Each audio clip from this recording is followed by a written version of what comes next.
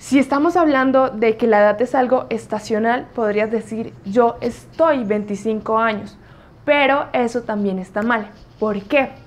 Porque si yo digo estoy 25 años y luego estoy 26, es diferente porque es como si perdiera lo que está pasando atrás.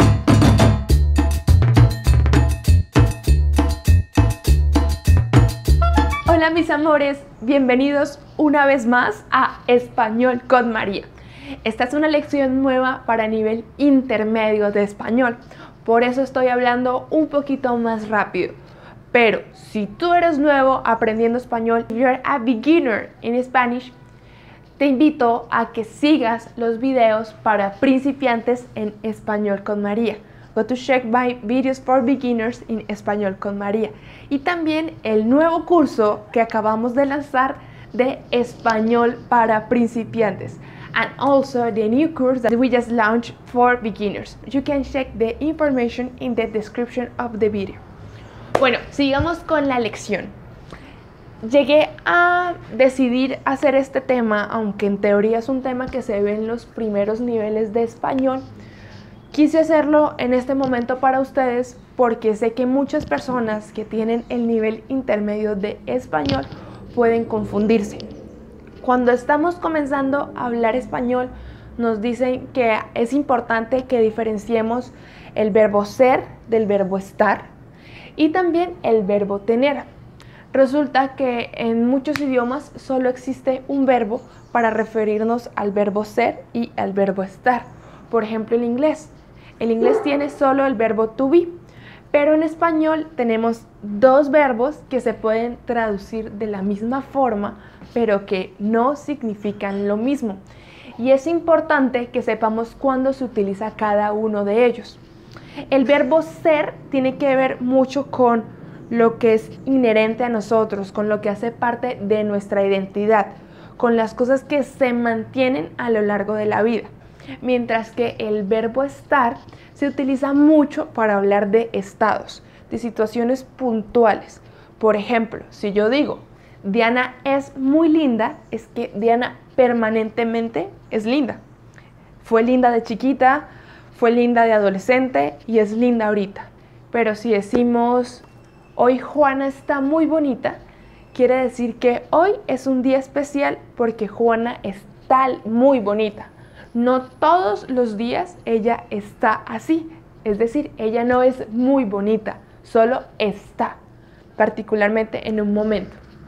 El verbo estar también lo usamos mucho para hablar de ubicaciones. Por ejemplo, yo estoy en Colombia. Pero el verbo ser, como les dije, tiene que ver con la identidad. Entonces, yo soy colombiana yo puedo cambiar mi ubicación. Puedo estar, por ejemplo, en Roma, pero así esté en Roma, voy a seguir siendo colombiana. ¿Entendido eso está ahí? Ahora el verbo tener. Este es mucho más fácil de entender, no nos confundimos tanto con el verbo ser y estar, porque el verbo tener tiene que ver con la posesión, con que yo tengo algo, yo agarro, es mío, es de mi propiedad pero nos confundimos cuando hablamos de la edad. En español, cuando queremos decir nuestra edad, decimos yo tengo y el número de años. Yo tengo 25 años. Nunca voy a decir yo soy 25 años. ¿Por qué? Porque recuerda que el verbo ser es permanente y yo voy a dejar de tener 25, voy a tener más años después. Haz de cuenta que aquí tengo todos mis años y esto de los 25 va a cambiar. Entonces voy a tener el otro año 26, 27, 28 y no va a ser algo permanente. Si estamos hablando de que la edad es algo estacional, podrías decir yo estoy 25 años, pero eso también está mal. ¿Por qué? Porque si yo digo estoy 25 años y luego estoy 26, es diferente porque es como si perdiera lo que está pasando atrás. Una forma fácil de recordarlo y de entenderlo es que para tener 26 necesitaste otros 25. Entonces, la posesión nos dice que yo nunca los pierdo. Tengo aquí el 1, cuando cumplo otro año el 2, el 3 y así siempre tengo todos los años. Espero que te haya quedado mucho más clara la lección. Sé que tú estás en un nivel intermedio, pero estos errores de confundir los verbos nos pasan porque no los entendemos cuando comenzamos.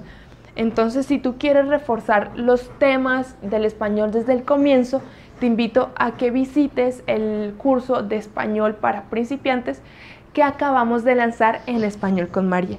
O si tienes un amigo que quiera aprender español, pues por favor compártele este curso porque estoy segura que va a ser muy útil y que va a aprender muchísimo. Y cuando estemos lanzando el curso para niveles intermedios, por supuesto que te avisaré para que te unas. Si te gustó este video, dale me gusta. Si tú todavía no te has suscrito a mi canal de YouTube, suscríbete ahora porque todas las semanas tenemos videos nuevos. Esto fue Español con María. Les mando un beso.